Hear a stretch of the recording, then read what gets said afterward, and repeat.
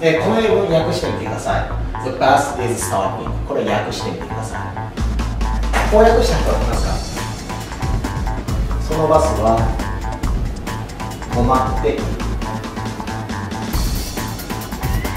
こうなる人はバスです、えー、進行形がバス。でね進行形これ to プラス V リンクで現在進行形で。現在進行形っていうのは中学はい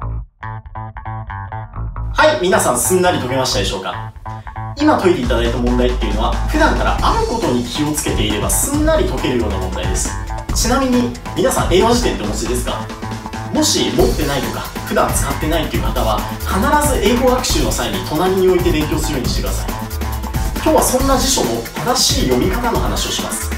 はい今 electricity という単語の英和辞典の項目を見てもらっていますこの画面を見て本能的に electricity どういう意味ってあ電気かという思考回路が働いた人要注意。はいそしたら今日は同角のざっとをやっていくんですがよーく来る質問としてね。先生先生あの同角のざっとと関係詞ざっとの違いが分かりません。どうしたらいいですか？ってよーく来るんですよ。でね一つの考え方初級の考えとしてはザットの後ろの部分を見てねザットの中身が名詞が抜けてたら関係し抜けてなかったら合格っていう考え方もできるねんけどちょっとこの例文見てみてください。Hello everyone 大口です。いきなりですが問題です。この2つの文章正しく意味が取れますか？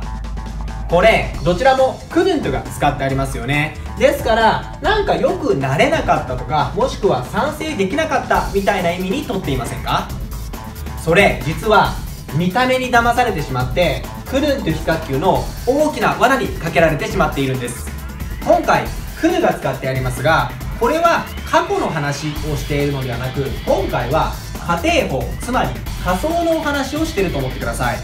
どうもこんにちは。一ノ瀬アンと言います。今回はですね発音の話をしますね。今から5つの単語を言いますので黄色くなってる部分に着目しながら何が共通点なのかっていうのを考えてみてください。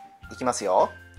Human travel family idol album はい気づきましたでしょうか？そう黄色くなってる母音の AEIOU はスペリングは様々ですけれども発音は全部同じ「う」っていう音だったんです。まず please に注目してみてください。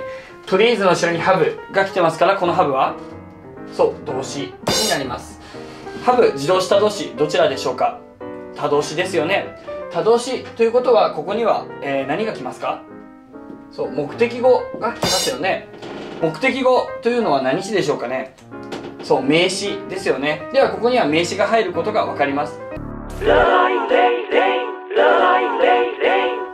はい、皆さんこんにちは。はじめまして、パート先生と言います。今日はライとレイっていう動詞を使って自動詞、他動詞の違いを見ていこう。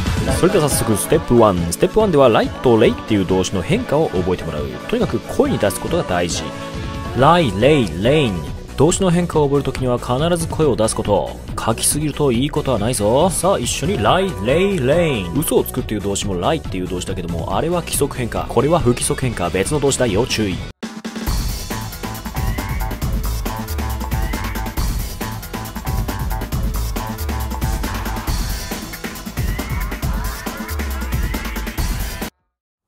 Make sure to give me a thumbs up and subscribe to my channel.